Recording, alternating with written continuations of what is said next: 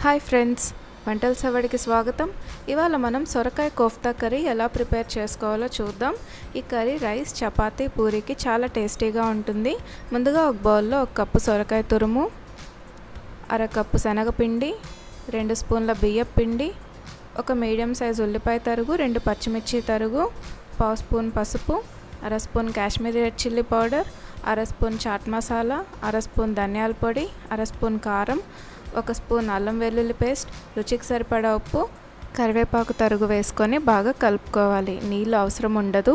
ఎందుకంటే సొరకాయలో తేమ ఉంటుంది కాబట్టి అది సరిపోతుంది. ఒకవేళ అవసరం అనిపిస్తే ఉరికే అలా చేతిని తడి చేసుకొని పిండిని ఇలా రౌండ్ బాల్స్గా కోఫ్తాలని తయారు చేసుకోవాలి. ఇప్పుడు డీప్ ఫ్రైకి సరిపడా నూనె పెట్టుకొని నూనె కాగాక ఈ కోఫ్తా బాల్స్ని వేసుకొని రెండు వైపులా గోల్డెన్ బ్రౌన్ కలర్ వచ్చేంత వరకు ఫ్రై చేసుకోవాలి. ఇలా ఫ్రై చేసుకొని ఒక ప్లేట్లోకి తీసుకోవాలి. ఇప్పుడు గ్రేవీ తయారు చేసుకోవాలి. స్టవ్ పైన ప్యాన్ పెట్టుకొని పావు కప్పు వేసిన గుళ్ళు వేసి వేయించుకోవాలి.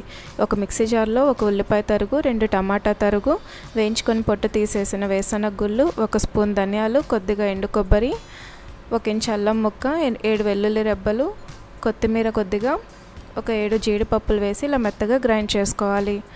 స్టవ్ పైన ప్యాన్ పెట్టుకొని ఐదు స్పూన్ల నూనె వేసుకోవాలి. ఒక స్పూన్ జీలకర్ర ఒక బేలీఫ్ చెక్క లవంగాలు వేసుకొని వేపుకోవాలి. రెండు ఉల్లిపాయ తరుగు రెండు పచ్చిమిర్చి చీలికల్ని వేసుకొని ఉల్లిపాయల్ని వేపుకోవాలి. ఉల్లిపాయ ముక్కలు వేగాక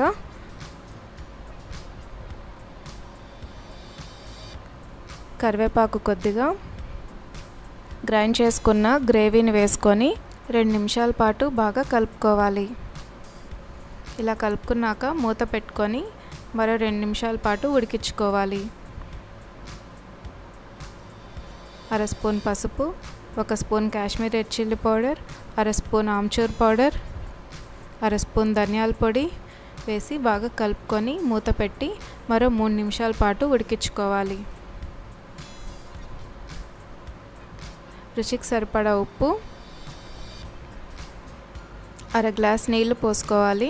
గ్రేవీ కన్సిస్టెన్సీని బట్టి నీళ్ళని యాడ్ చేసుకోవచ్చు. కర్రీ స్పైస్ కావాలంటే కొద్ది కారాన్ని వేసుకోవచ్చు. ఇప్పుడు రెడీ చేసుకున్న సొరకాయ కోఫ్తాలను వేసుకొని మూడు నిమిషాల పాటు మూత పెట్టి ఉడికించుకోవాలి. చివరిగా కొత్తిమీర తరుగును వేసి స్టవ్ ఆఫ్ చేసుకొని సర్వింగ్ బౌల్లోకి తీసుకొని వేడివేడిగా సర్వ్ చేసుకుంటే చాలా టేస్టీగా ఉంటుంది. ఈ కర్రీ జీరా రైస్ కానీ ప్లెయిన్ పులావ్ కానీ చాలా టేస్టీగా ఉంటుంది. ఈ రెసిపీ మీరు కూడా ట్రై చేసి మీకు ఎలా కుదిరిందో కామెంట్ సెక్షన్లో తెలియచేయండి. ఈ వీడియో మీకు నచ్చినట్లయితే లైక్ చేయండి షేర్ చేయండి మా ఛానల్ని సబ్స్క్రైబ్ చేయండి. Thanks for watching.